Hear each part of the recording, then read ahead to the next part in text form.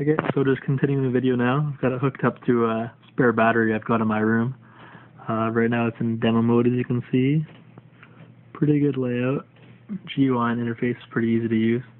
Uh, up top here, you can click source, choose your radio, USB, SD, auxiliary obviously. Uh, up here you see rear view. You can turn on your rear view source so that when you're backing up it'll automatically switch for you. Uh, let's see a radio for now. Um, obviously my radio is not hooked up, but you can see the layout.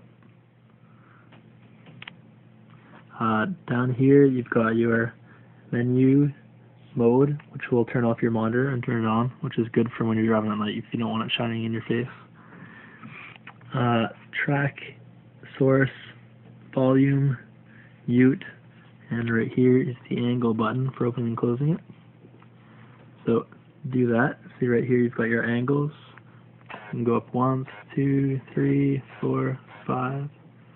So there's five different angles.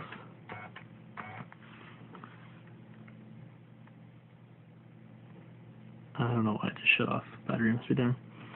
Uh, yeah, and also down here you can see CD and SD. If I clicked on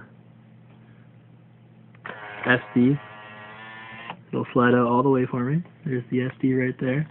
And if I clicked on CD, it would only slide it down to about here, so that you could fit your CD in the top. I get it back, stick that, and that's about it.